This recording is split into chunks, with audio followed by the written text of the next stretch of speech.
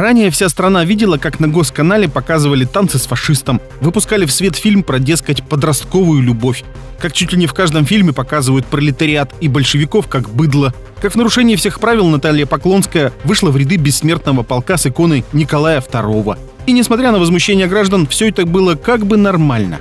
Но как только показали короткий трейлер фильма «Матильда», где рассказывают про отношения этого самого Николая и балерины Матильды Кшесинской, так сразу начались проверки – Фильм еще не снят, поэтому ничего сказать о нем нельзя, но можно вспомнить историю.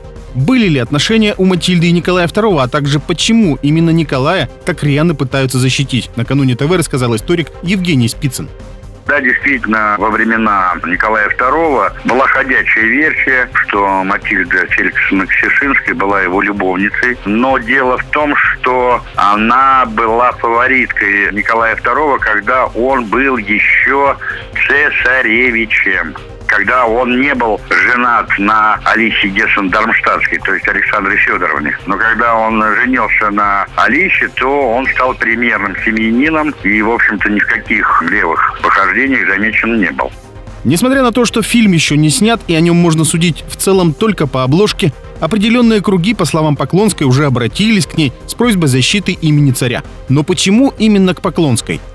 Поклонская, она принадлежит к тому сегменту нашей элиты политической, которая по не вполне понятным мне причинам является большой поклонницей того самого табора, который именует себя наследниками императорской короны. Это те люди, которые вообще имеют очень отдаленное отношение к династии Романовых как таковой. Они, безусловно, никакими наследниками никакой династии Романовых не являются. Это проект совершенно определенных и хорошо известных западно европейских олигархов, в том числе Ротшильдов. Главное недовольство противников фильма так до конца и не ясно. То ли им не понравился актер, то ли они не хотят знать, были ли отношения у Николая с Кшесинской, то ли просто не смотрели, но осуждают. Да, Николай II канонизирован, но речь не о его страданиях. Так о чем?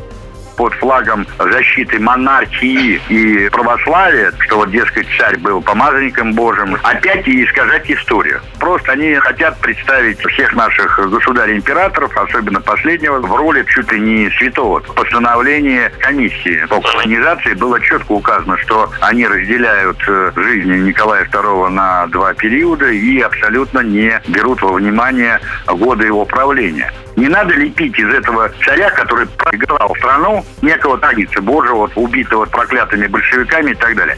И потом она тогда не льет крокодильи слезы по поводу невинно убиенного Иоанна Антоновича, Павла Петровича, Александра II и прочих государей-императоров, которые приняли мученическую кончину. А ответ э, простой. Потому что тех грохнули свои же, а этих, значит, грохнули большевики. Ну, когда свои грохают, это нормально, это в порядке вещей. А здесь надо облить большевиков. В эфире была рубрика «Экспертное мнение» специально для «Накануне ТВ». Подписывайтесь на канал «Накануне ТВ» и смотрите другие видео из рубрики «Экспертное мнение».